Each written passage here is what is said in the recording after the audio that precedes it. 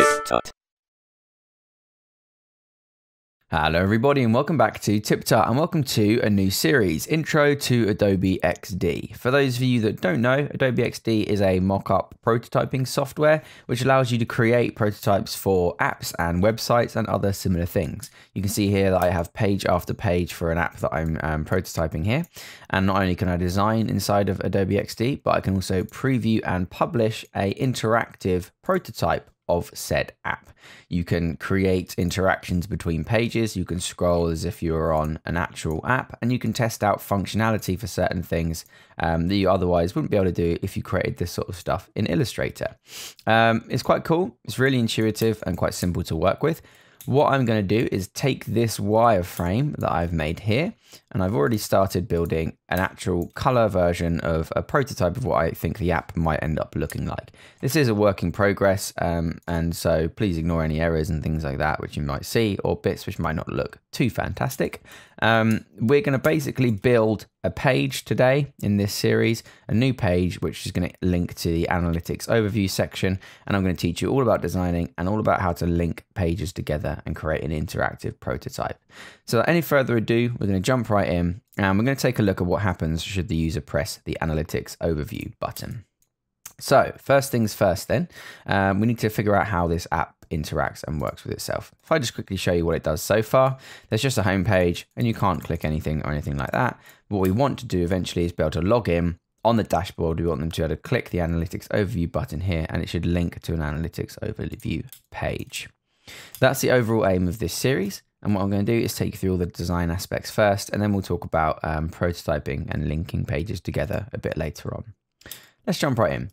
So the interface for Adobe XD is very simple. It's designed to be a quick prototyping tool, not extensively over designing like Illustrator or Photoshop, that sort of thing. Your toolbar is down the left-hand side, and you can see it's quite limited. Selection tool, various shape tools, pen, text, and artboards, as well as a search or a zoom tool. Sorry, not a search tool. Um, aside from that, you have two options here for assets. You can essentially link assets together. So, for example, I could select everything here, turn this into a symbol, and it would become an asset here that I could then re reuse throughout my design. For example, if I made this a symbol, I could call this menu, and then I could drag this onto anywhere in my artboard and it would all retain the same sort of symbols. Apart from that, you've then got a simple layers palette as well. Honestly, I don't use assets or layers too much um, because most of the time it's going to be a simple setup that you're doing here, a quick wireframing process. On the right hand side, you have the properties, which is a um, dynamic properties panel dependent on what you have selected. For example, if I have an image selected, it's going to show me the properties for an image. If I have some text selected, like so, it's going to show me the properties for some text. In terms of the interface, that is pretty much it. There's two tabs, design and prototype. Design is where you design your page, create all the elements, and the prototyping prototyping tab is where you can choose connections between artboards. For example, on my dashboard, should they click this small button here, this will slide out our menu overlay. And I can just quickly show you that like so. Okay, and you can create these interactions together. So let's just jump right in into creating our analytics overview board, and then we'll link the two together in a later episode. So back to my design tab, I need to create a new artboard.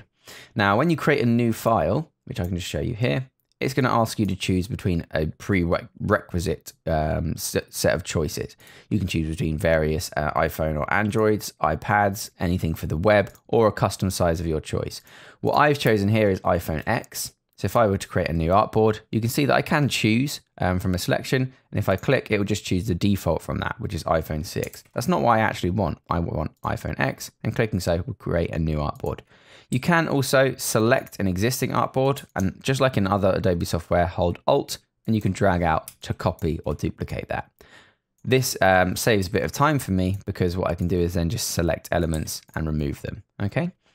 Now this is obviously too tall for a standard iPhone. You can see here on our menu overlay, this looks like, roughly, and it is, the correct size for a full iPhone screen. What I've done on this one is I've just dragged that artboard down to increase its size. And you can see that when we do so, we get this sort of blue tab along the bottom here.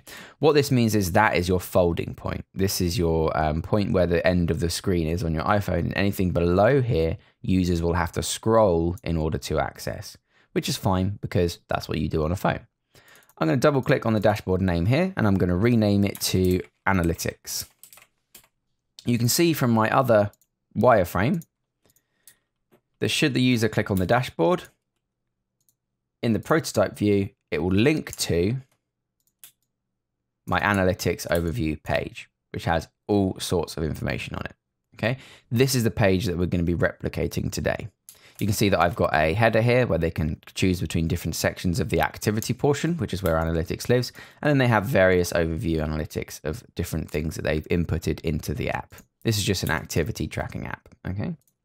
So simply then, I don't want this title to say dashboard anymore. This now needs to say activity.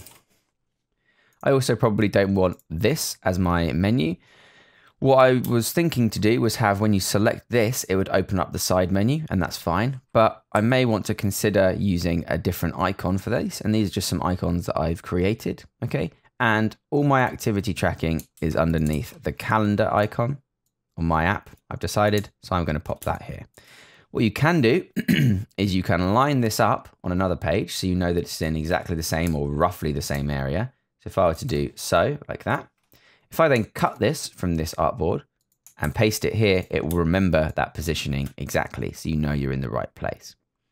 If you notice on our other artboard here, we've actually got some subheadings underneath, okay? So I'm gonna actually have to drag out my box here that I've created to make it taller. Now we'll go over adding new asset, assets in a moment, but we'll just edit the ones we've got here. And this is very simple in the same way as uh, Photoshop and Illustrator works. You have your controlling bounding box. You can adjust corners by clicking and dragging. All very similar, familiar stuff, or at least it should be. Now I need to add these little subheadings because although for this tutorial we're not actually going to create any of these other pages, which you can see link to these other pages here, what we're actually going to do is just create the one, but we still need to show that those other pages exist, okay? So I'm going to need to create those subheadings here. What I can do is just go to my text tool like so, click here, and just choose um, type out analytics.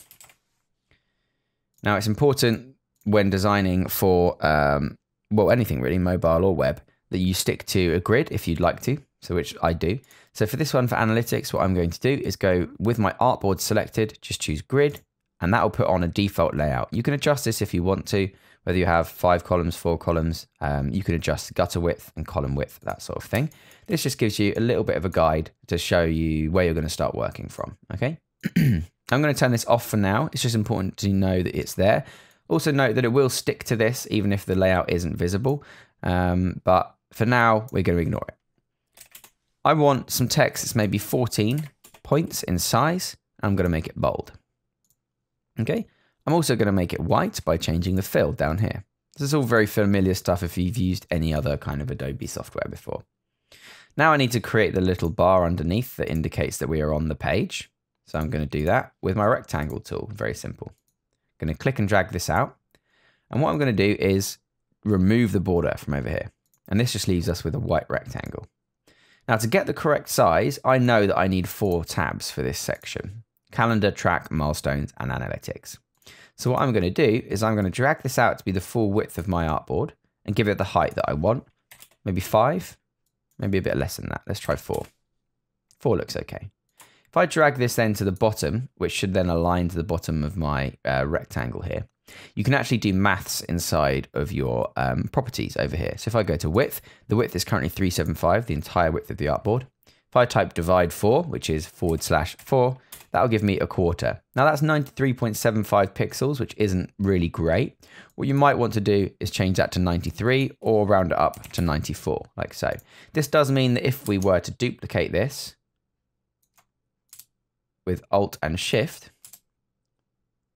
it is going to overlap the edge slightly. But you can see that it does line up perfectly for you. You can see that some of these might overlap slightly like so, but it's better to create pixel perfect artwork and have a slight overlap than it is to create artwork that does something called sub-pixeling. And that's when um, your artwork crosses over between pixels. like when you have something that says 93.75, there's no way on an actual render to render out 0.75 of a pixel. You'd have to pick an exactly one. So now that we have our four options here, I can just remove those if I want to for now, just so that I can start centering these two together. So this would be, if these were offset, you could align them together so that they're perfectly in the middle. And then I'm going to push that to the edge of the page. Now that I know that they're perfectly center, I can start duplicating this out and change what this says. Excuse me. So this should say calendar, track, milestones, analytic. So let's start changing that. Calendar, uh, track, and milestones. Now, what I might do, we need to make sure it's clear and obvious that we're on this page of the um, app. So once I've finished aligning all of these to the center with the align tool, what I'm probably going to do is select all three of these pieces of text here and change their weight from bold to regular. Can align these back again because obviously once we've changed the weight, that center alignment is going to be messed up. So we can fix that like so. And then what I'm going to do with all of these selected is I'm just going to reduce their opacity down to about 40%. Now, clearly that indicates that we are on the analytics page. It's bold and these are faded out. So we can select these. We can hold Control G to group them into a single item. That just means we can select them together. And I'm just going to position them onto the page so they all link up and overlap with each other, like so. The eventual idea being obviously that if a user tapped on any of these items, the page would transition over to the next one. Okay, that looks pretty good. It might be a little bit chunky for me. So what I might do is just select all of these. And this is where Adobe XD really comes into play with its um, stretching and sizing options. If you were to stretch this in um, Illustrator, it would do something like this. Um, excuse me, something like this maybe. Uh, but all of your text would start to get squashed and stretched. Whereas Adobe XD is a um, a prototyping software, if you stretch things, it tries to maintain the original aspect ratio because the obvious choice is you're not going to want to deform, you're going to want to reposition. So I can squash or stretch this and it doesn't affect individual items on your um, artboard. It affects the positioning and scaling of them relative to their aspect ratio, which is really, really clever actually. So I can squish that down a little bit, for example, like so, to give myself a little bit of um, breathing room or indeed I could start to stretch out like so. Doesn't work perfectly if you select um, the wrong item, but if you select items that are relative to each other, it tends to work pretty well. Pretty well enough that uh, it gets the job done. So there is the header of our page, and we've gone through adding elements, edit, editing elements, and creating artboards. I think that'll do for our first episode, and what we're going to do in episode two is start to replicate some more complicated stuff here, like this analytics information. So thank you very much for watching, everybody. I hope you enjoyed this tutorial. Stick around for episode two, and I'll see you all next time on TipTut. Remember to subscribe for more tips, tricks, and tutorials. Thanks for watching.